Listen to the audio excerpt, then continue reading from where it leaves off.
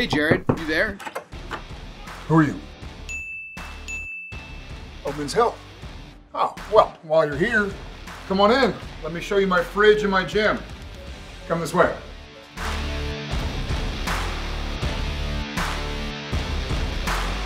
I'm Dean. Is today my birthday? No, no, no, no, you can't go out. I'm a better hunter than you are. All right, guys, here is where we do our cooking and eating. Yes, yes, you get you get a cameo.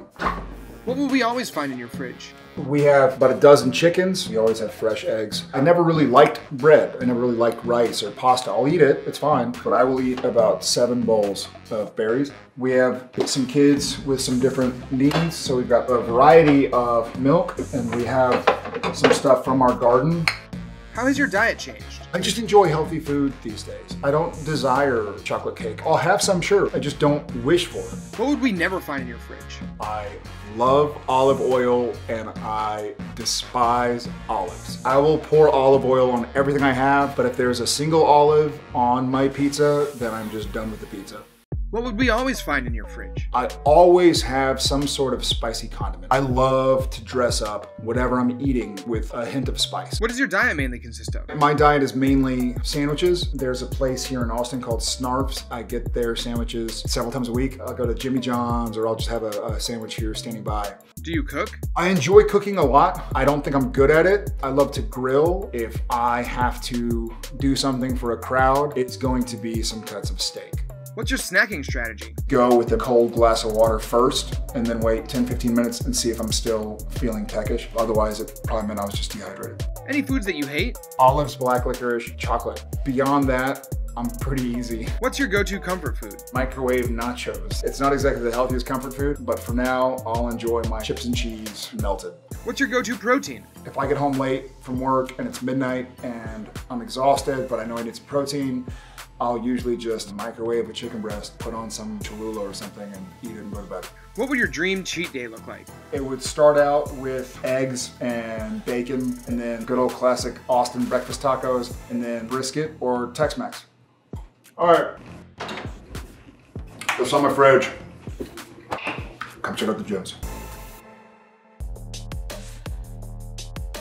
This is my weight room. Nothing here is for decoration. Everything is used and I use it all. Do you use any special equipment? I had shoulder surgery about six years ago, and so my mechanics aren't the same as they used to be. And so grabbing a classic barbell and doing bench press or rows just works differently. So I found that dumbbells fit my routine a little better these days. What are your fitness goals? My fitness goals these days are to just remain healthy and to avoid injury. I want to play with my kids, to enjoy travel and ride a bike around town or go for a jog around the city. I don't worry these days about how I look. I worry these days about how I feel. What music do you listen to when you're working out? Sometimes I'll go with just something current and poppy that I don't even know the lyrics to or the singer. If I really need an extra boost, I'll go back to Seattle Grunge, you know, Stone Pilots, Pearl Jam.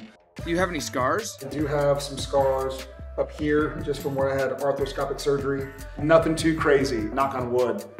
Knock on whatever this is. What do you do for recovery? So one of the things I do for recovery is I use my infrared sauna, which is just downstairs outside the cardio room. It's easy to go to a gym and just beat yourself up. What's more important is making sure you're recovered for the next day. Welcome to our cardio room. Usually if I'm up in the morning early, then I am right here moving my legs, practicing my work. How has your exercise regimen changed over time? It depends on what I'm doing. You know, if I have to do a scene where I'm horseback riding, then I try to make sure that I, I do stuff that's based on a hip hinge movement. Whereas if I have to do some scene where I'm I don't take my shirt off or something, and I'll do a little bit more shoulders and traps and chest and lats and stuff. My workouts these days are more based on overall health and fitness more than a way I want to look. What do you consider to be an intense workout? The most intense workouts that I do are high intensity intervals, hill sprints, the assault bike. These days at this age with three kids and a full-time job, I think the most intense for me is really those uh, high intensity intervals. What's one exercise that you hate? I love a squat workout, but I hate the three or four days after that, especially having to go back on a set and do a stunt scene, do a, a fighting scene. I love doing squats, but I hate the next couple of days. All right, Jared, it's time for some rapid fire questions. Workout time, 7 a.m. or 7 p.m. 7 a.m. Squat or deadlift? Deadlift. Favorite song on your playlist? I want more by Kaleo. CrossFit, yes or no? Sure. Pull-ups or chin-ups? Pull-ups. Dumbbells or kettlebells? Dumbbells. Run on a treadmill or the great outdoors? Great outdoors. Big legs or big arms? Big legs. Cardio or weights? Weights. Biggest compliment, jacked, cut, ripped, or swole? Jacked. If you could work out with anyone in the world, dead or alive, who would it be? Come on, Arnold. All right, guys. I would love to sit around and chat, but I have some lines to memorize. So um, you don't got to go home, but you can't stay here. So get out of here.